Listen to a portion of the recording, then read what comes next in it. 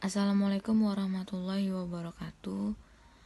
Perkenalkan kami dari kelompok 2 ingin mempresentasikan makalah kami yang berjudul Aliran-aliran pemikiran yang mempengaruhi terbentuknya sosiologi hukum. Uh, yang disusun oleh Firman Matondang, Erisando Arisanes, Dewi Sartika, Isa Wianda, Musdalifah, dan Ishami Sarinadila. Untuk mempersingkat waktu, langsung saja ke bagian apa-apa saja yang mempengaruhi terbentuknya sosial, sosiologi hukum ini. Jadi yang mempengaruhi terbentuknya sosiologi hukum ini ada empat. Yang pertama itu ada mazhab formalistis, yang kedua ada mazhab sejarah dan kebudayaan, yang ketiga ada aliran utilitarianisme dan yang keempat ada aliran realisme hukum. Langsung saja ke bagian yang pertama yaitu mazhab formalistis yang akan langsung dijelaskan oleh Isa Wiyanda. Sebelumnya perkenalkan nama saya Isa Wiyanda. Jadi, saya akan menjelaskan sedikit dari mazhab formalistis ini. Uh, tokoh terpenting dalam mazhab ini adalah John Austin. Dimulai dari tahun 1790 sampai 1859. Ia berkata bahwa hukum merupakan perintah dari mereka yang memegang kekuasaan tertinggi atau law is command of the lawgivers uh, dari yang memegang kedaula, kedaulatan. Menurut John Austin, hukum adalah perintah yang dibebankan untuk mengatur makhluk berpikir. Perintah mana yang dilakukan oleh makhluk berpikir yang memegang dan mempunyai kekuasaan. Uh, dan John Austin ini menganggap hukum itu sebagai suatu sistem yang logis, tetap dan bersifat tertutup. Dan karena ajarannya, dia dinamakan analytical jurisprudence. Ajaran John Austin ini kurang atau tidak memberi tempat bagi hukum yang hidup di dalam masyarakat. John Austin juga membagi hukum dalam dua bagian. Yang pertama, hukum yang diciptakan oleh Tuhan untuk manusia, dan yang kedua, hukum yang dibuat dan disusun oleh manusia. Dan hukum yang dibuat dan disusun oleh manusia ini terbagi lagi menjadi dua bagian. Yang pertama, hukum yang sebenarnya. Jadi maksudnya di sini hukum yang tepat yang disebut sebagai hukum. Jenis hukum ini disebut juga sebagai hukum positif. Hukum yang sebenarnya mengandung perintah, sanksi, kewajiban dan kedaulatan. Dan hukum yang sebenarnya ini terbagi menjadi dua bagian lagi, yaitu hukum yang dibuat oleh penguasa seperti contohnya undang-undang, peraturan pemerintah, dan lain sebagainya.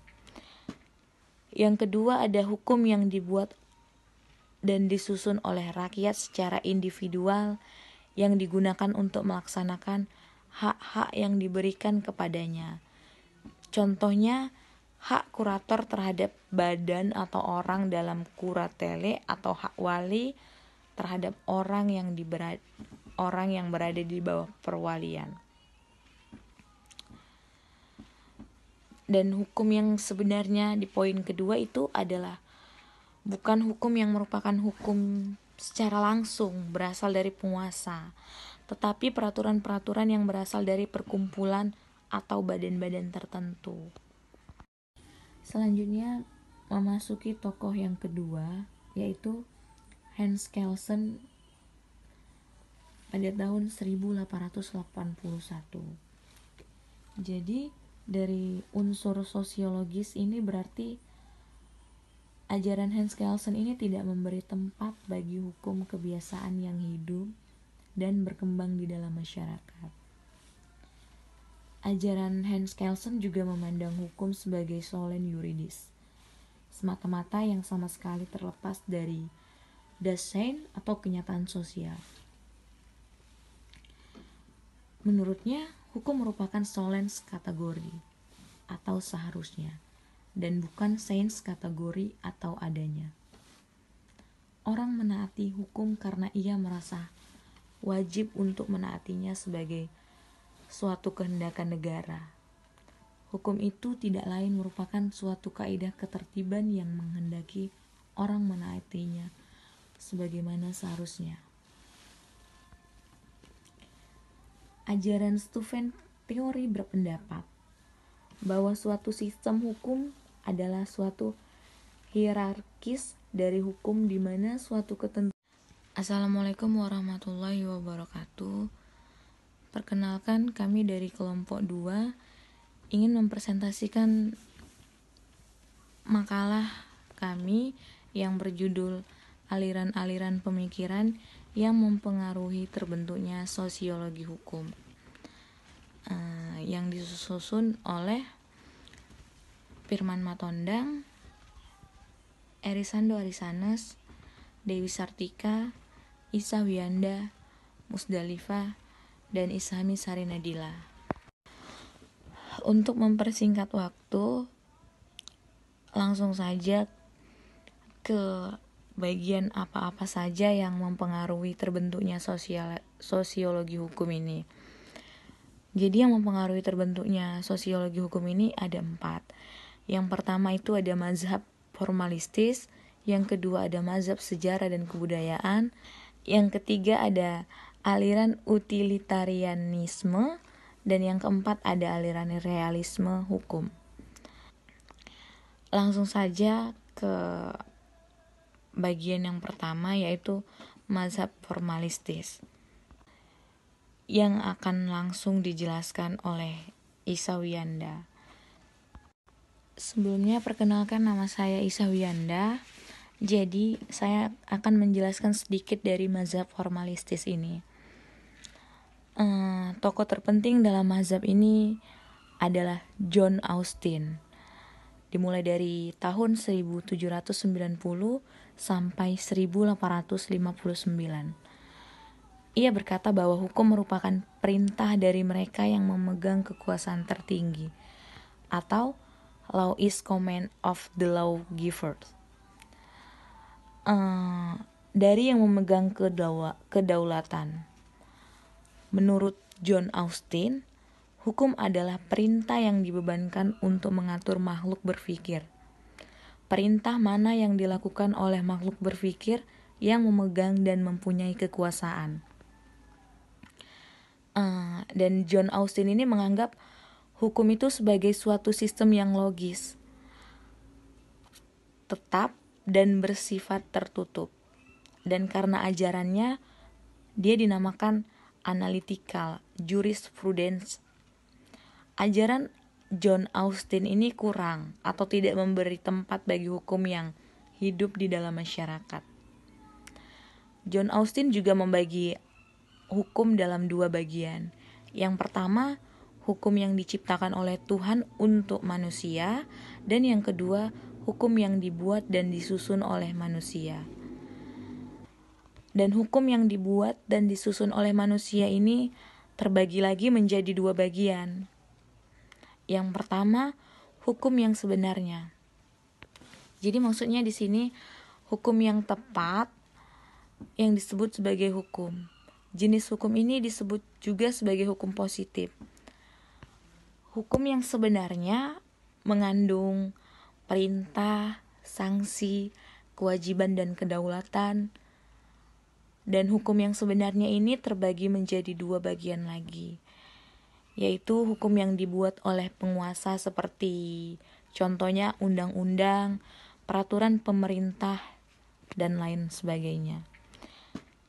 Yang kedua ada hukum yang dibuat dan disusun oleh rakyat secara individual yang digunakan untuk melaksanakan hak-hak yang diberikan kepadanya. Contohnya, hak kurator terhadap badan atau orang dalam kuratele atau hak wali terhadap orang yang diberad orang yang berada di bawah perwalian.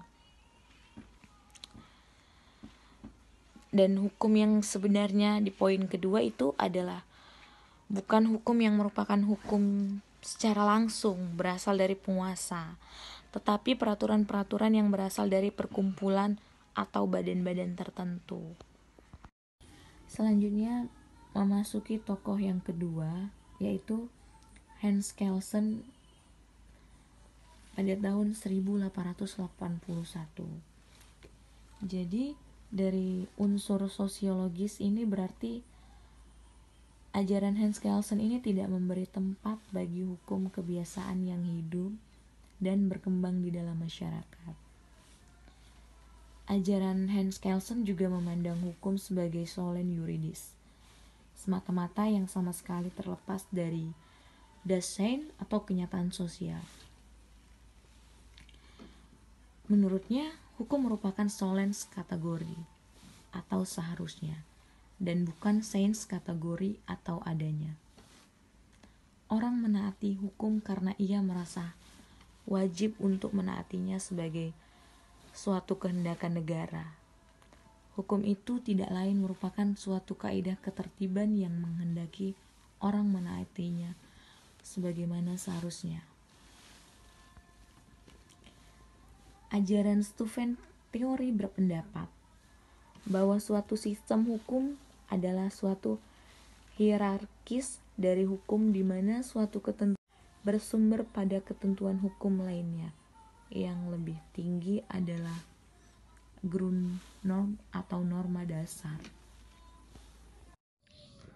Selanjutnya, mazhab sejarah dan kebudayaan. Seorang tokoh terkemuka dari mazhab ini adalah Fredrik Karl von Savigny, wafat tahun 1861, yang dianggap sebagai pemuka ilmu sejarah hukum. Von Savigny berpendapat bahwa hukum merupakan perwujudan dari kesadaran hukum masyarakat atau Volksrecht. Von Savigny selanjutnya mengemukakan betapa pentingnya untuk meneliti hubungan antara hukum dengan struktur masyarakat beserta sistem nilai-nilainya. Pendapat tersebut sekarang ini hampir selalu menjadi pegangan bagi para sosiolog dalam arti bahwa suatu sistem hukum sebenarnya merupakan bagian dari sistem sosial yang lebih luas dan antara sistem hukum dengan aspek-aspek sistem sosial lainnya. Terdapat hubungan timbal balik yang saling pengaruh mempengaruhi. Hal lain yang menjadi salah satu pokok ajaran von Savigny yang menekankan pada aspek dinamis dari hukum yang didasarkan pada sejarah hukum tersebut. Seorang tokoh lain dari mazhab ini adalah Sir Henry Maini, wafat tahun 1888, yang terkenal sebagai penulis buku Ancient Law. Menurut Maini, Hubungan-hubungan hukum yang didasarkan pada status warga masyarakat yang masih sederhana berangsur-angsur akan hilang apabila masyarakat tadi berkembang menjadi masyarakat modern dan kompleks. Yang ketiga adalah mazhab utilitarianisme. Mazhab utilitarianisme adalah suatu teori dari segi etika normatif yang menyatakan bahwa suatu tindakan yang patut adalah yang memaksimalkan penggunaannya. Biasanya didefinisikan sebagai memaksimalkan kebahagiaan dan mengurangi penderitaan. Salah satu tokoh aliran atau mazhab utilitarianisme adalah Jeremy Bentham pada tahun 1748 sampai 1832. Jeremy Bentham dapat dianggap sebagai salah satu seorang tokoh yang terkemuka dalam aliran ini. Jeremy Bentham adalah seorang ahli filsafat hukum yang sangat menekankan pada apa yang harus dilakukan oleh suatu sistem hukum. Dalam teorinya tentang hukum, Jeremy Bentham mempergunakan salah satu prinsip dan aliran utilitarianisme bahwa manusia bertindak untuk memperbanyak kebahagiaan dan mengurangi penderitaan Jeremy Bentham mengemukakan bahwa pembentuk hukum harus membentuk hukum yang adil bagi segenap warga masyarakat secara individual. Dikemukakannya faktor-faktor yang dapat mewujudkan keadilan dan penderitaan itu. Tokoh lain dari aliran atau mazhab ini adalah Rudolf von Lering pada tahun 1818 sampai 1892 yang ajarannya biasanya disebut sebagai sosial utilitarianisme. Von Lering menganggap bahwa hukum merupakan suatu alat bagi masyarakat untuk mencapai tujuannya.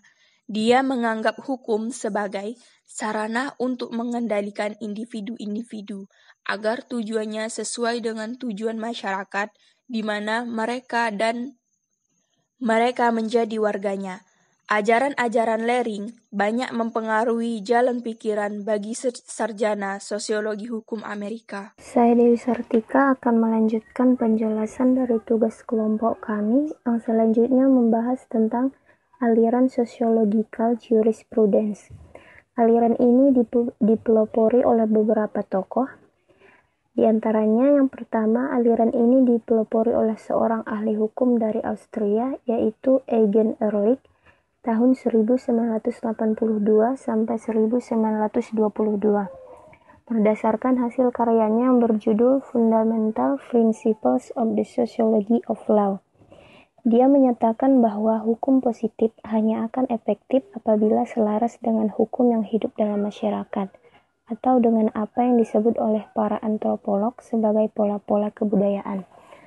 Menurut aliran ini, berpokok pada pembedaan antara hukum positif dan hukum yang hidup dalam masyarakat atau living law atau dengan kata lain pembedaan antara kaidah-kaidah hukum dengan kaidah hukum lainnya. Selanjutnya menurut tokoh ini mengatakan bahwa pusat perkembangan dari hukum bukan terletak pada badan-badan legislatif, keputusan badan yudikatif dan ilmu hukum, akan tetapi justru terletak di dalam masyarakat itu sendiri. Aliran sosiologikal jurisprudence ini telah meninggalkan pengaruh yang mendalam, terutama pada pemikiran hukum di Amerika Serikat. Walaupun aliran ini aliran sosiologikal jurisprudence ini telah meninggalkan pengaruh yang mendalam, terutama pada pemikiran hukum di Amerika Serikat. Walaupun aliran ini belum sepenuhnya dapat dinamakan sosiologi hukum, karena usahanya untuk menetapkan kerangka normatif bagi ketertiban hukum belum tercapai. Akan tetapi, aliran tersebut memperkenalkan teori dan metode-metode sosiologi pada ilmu hukum. Selanjutnya, menurut tokoh Roscoe hukum harus dipandang sebagai suatu lembaga kemasyarakatan yang berfungsi untuk memenuhi kebutuhan-kebutuhan sosial dan untuk mengembangkan suatu kerangka agar kebutuhan sosial tersebut dapat tercapai secara maksimal.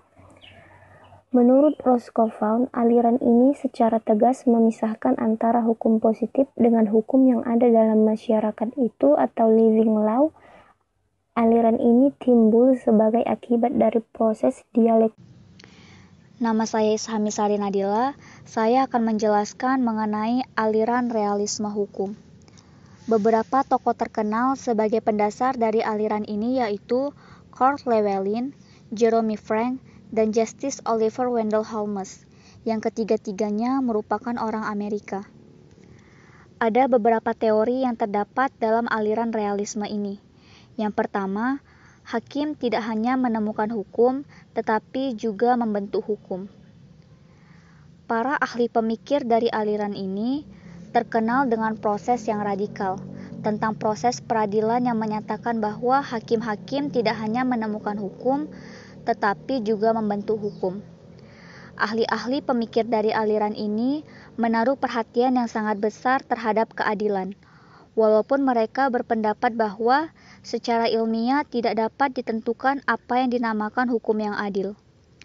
Pokok-pokok pikiran dari aliran ini banyak dikemukakan oleh Justice Holmes di dalam hasil karyanya yang berjudul The Path of the Law. Antara lain mengatakan bahwa kewajiban hukum hanyalah merupakan suatu dugaan bahwa apabila seseorang berbuat atau tidak berbuat, maka dia akan menderita sesuai dengan keputusan suatu pengadilan. Yang kedua, tugas pokok pengadilan yaitu menetapkan fakta dan rekonstruksi dari kejadian-kejadian yang lalu yang menyebabkan terjadinya perselisihan. Kurt Llewellyn mengembangkan teori tentang hubungan antara peraturan-peraturan hukum dengan perubahan-perubahan sosial yang terjadi di dalam masyarakat. Dalam teorinya itu, Llewellyn menekankan pada fungsi hukum, di mana tugas pokok dari pengadilan yaitu menetapkan fakta dan rekonstruksi dari kejadian-kejadian yang telah lampau yang menyebabkan terjadinya perselisihan aliran realisme hukum dengan buah pikirannya ini mengembangkan pokok-pokok pikiran yang sangat berguna bagi penelitian-penelitian yang bersifat interdisipliner, terutama dalam penelitian-penelitian yang memerlukan kerja antara ilmu hukum dengan ilmu-ilmu sosial. Demikianlah hasil dari persentase kami kelompok 2 yang membahas tentang aliran-aliran yang mempengaruhi sosiologis hukum. Lebih dari kurangnya kami mohon maaf. Wassalamualaikum warahmatullahi wabarakatuh